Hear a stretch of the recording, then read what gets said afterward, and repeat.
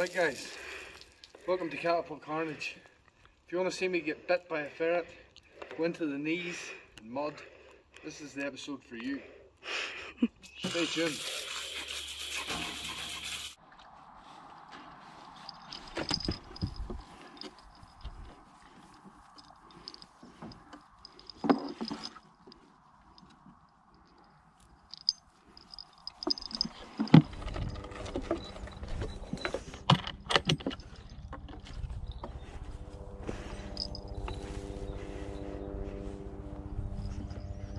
Alright guys, this video was brought to you by Huusk Knives. These are premium Japanese knives, high quality, excellent for the outdoors man, excellent for bushcraft cooking, which is right up my street. Extremely sharp, scary sharp, fantastic ergonomic design, unique handle design, great edge control. This knife is 11 inches overall. It's got a 6 inch blade. It's 5 inches wide. 5 2 inches wide, sorry, 5 centimeters. It's half a pound weight or 250 grams. It's stainless steel.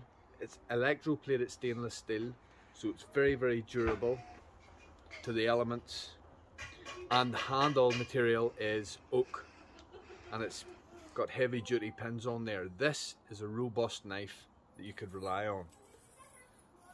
So you'll find links in the description. Shout out to Huusk for being my first paid promotion, sponsored video. Um, one step closer to being a full-time YouTuber, so I want you guys to show them a bit of love and even go and check out their website, check out the knives. I recommend the knives. Links in the description and pinned in the comments. Let's get on with the video.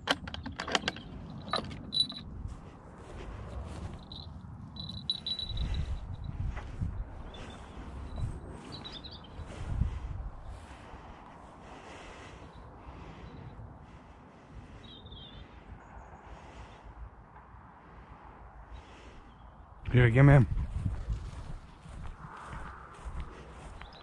Go up to the top and keep a lookout for Smokey.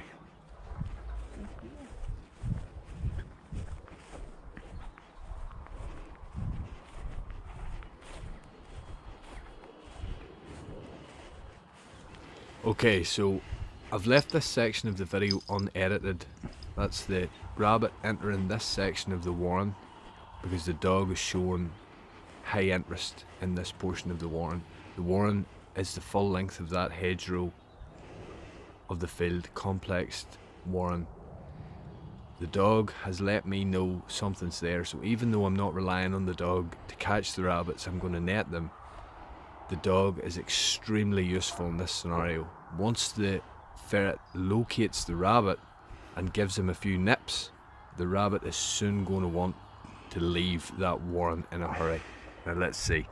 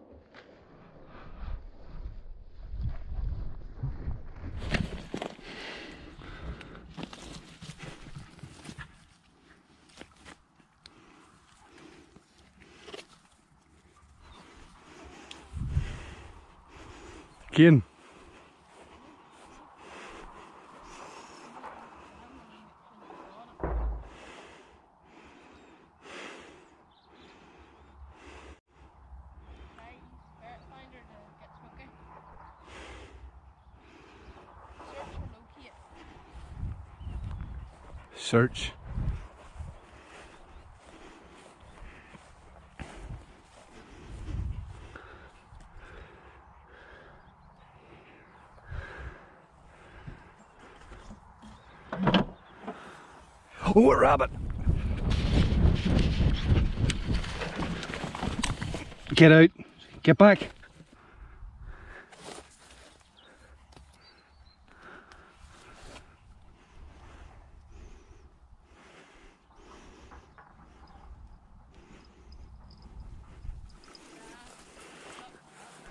Huh?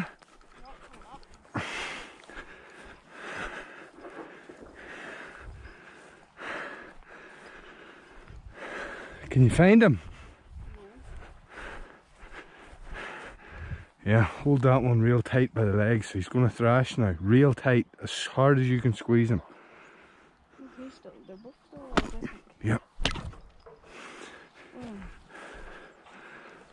Ah. They're not alive now. So I thought I would, before we went home, take a wee walk on my own with the GoPro and the slingshot, and see if I could see any rabbits for a shot at one. So I'm checking this new patch of my permission. When I say new, I just mean I haven't checked it before. So there's plenty of sign, plenty of burrows coming up to this fence.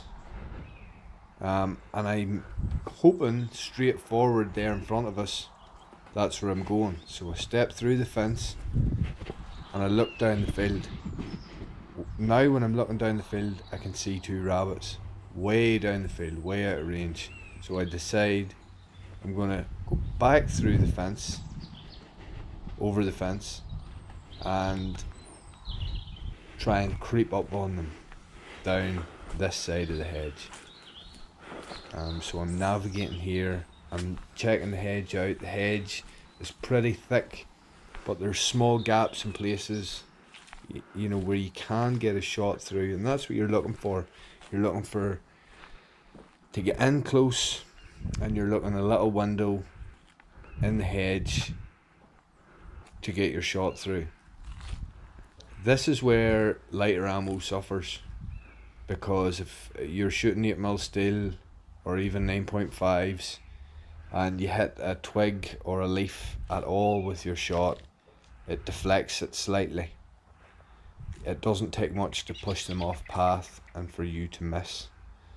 So, for this style of hunting, if this is specifically what you're into, hunting hedgerows like this, um, 8s and 9.5s are probably too light. Uh, a lot of times with me, it's open ground hunting or I can't find a window big enough to get a shot through. So I'm just coming up now on where the rabbits are and you can see a couple of little gaps here in the hedge in front of us. And I do get a shot. So let's have a look at that.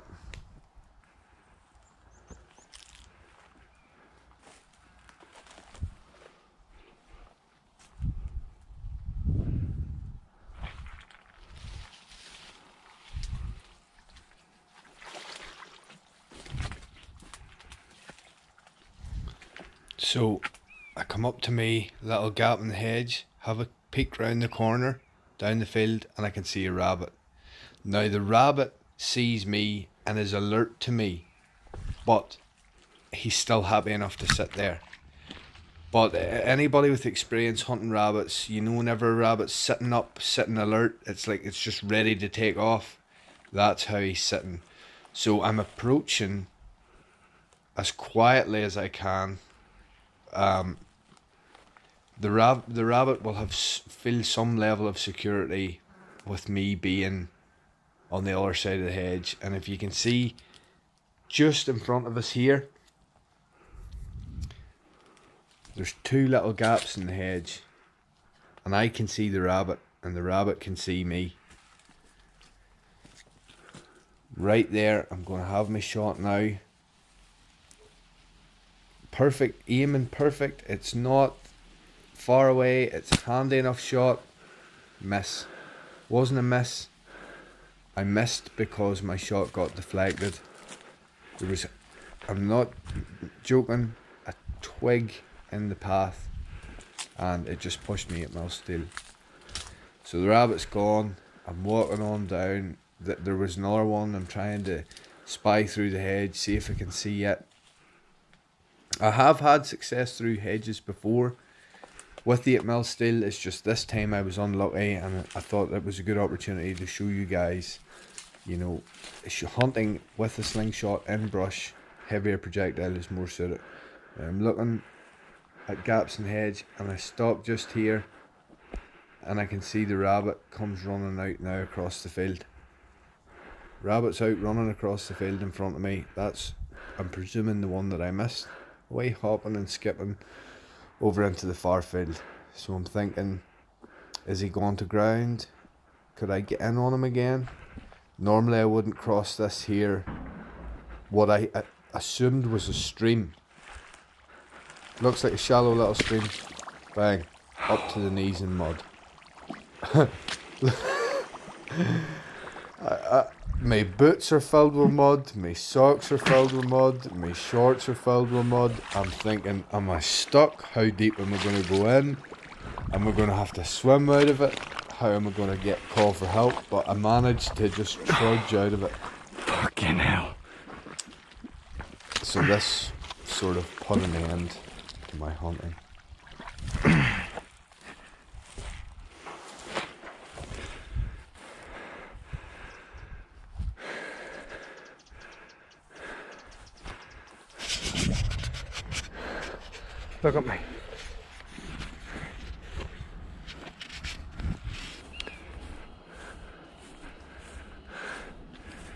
Buzzard?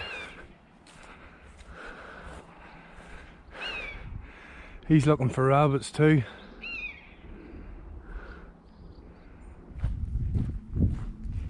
So I had spoke to the farmer earlier in the day and he had told me that there was pigeons in this shed. So I'll go in here, look up into the rafters, can't see the birds, but I can hear them. I can hear them cooing. So I know they're in there. I'm gonna go up to the other end of the building now. But as I go up, every six or eight feet along the building, we've got like a little half block here left out. I look through the half block, I can see I can see the pigeon on top of one of the beams. So I've got my little peephole.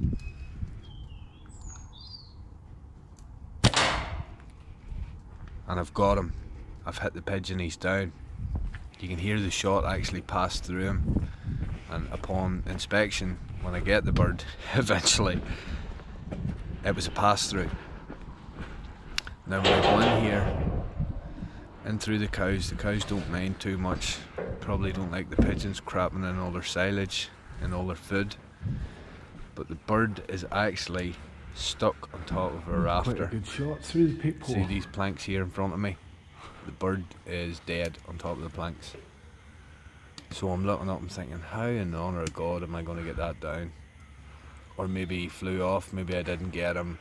You know, I know now that I did. He's up there dead, but at the time I had all this running through my mind. What a trade.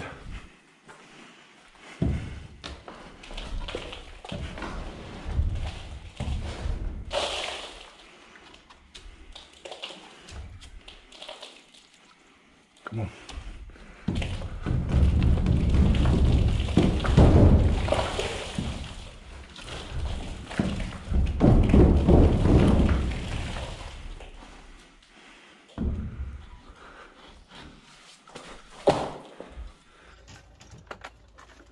Dinner, guys?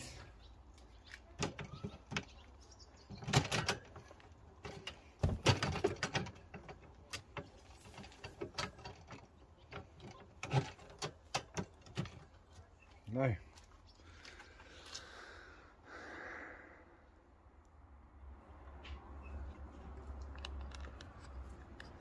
That'll keep them munching for a while.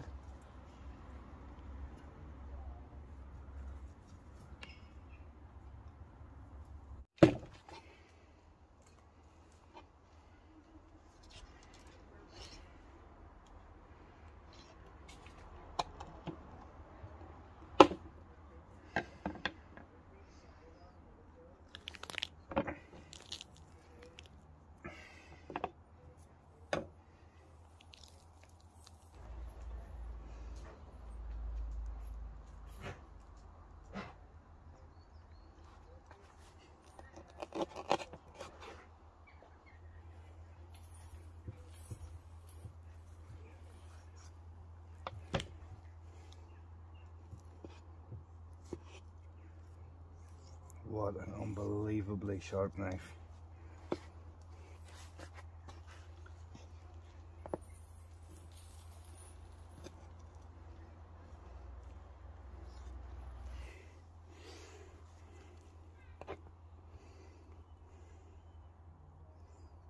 Two legs.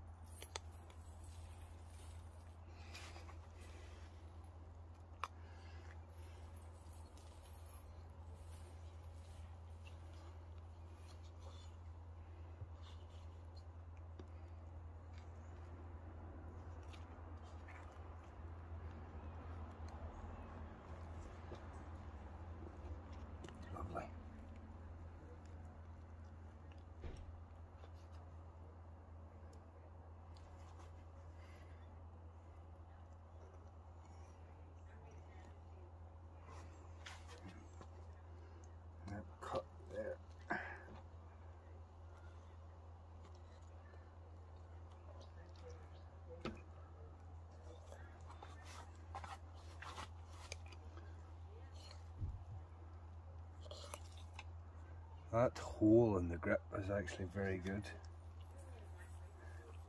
for edge control.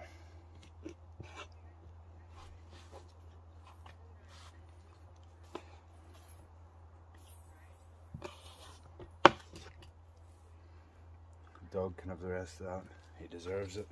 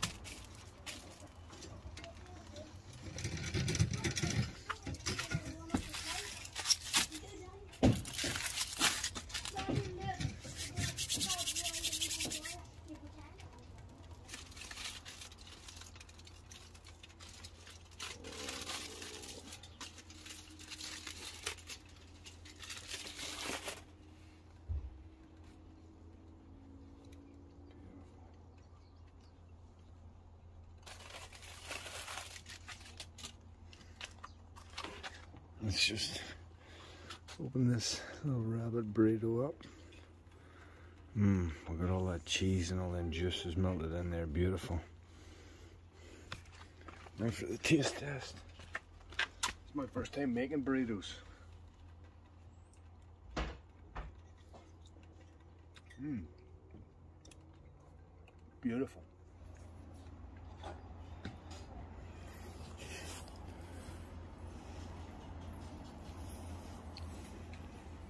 And yeah, it's awesome.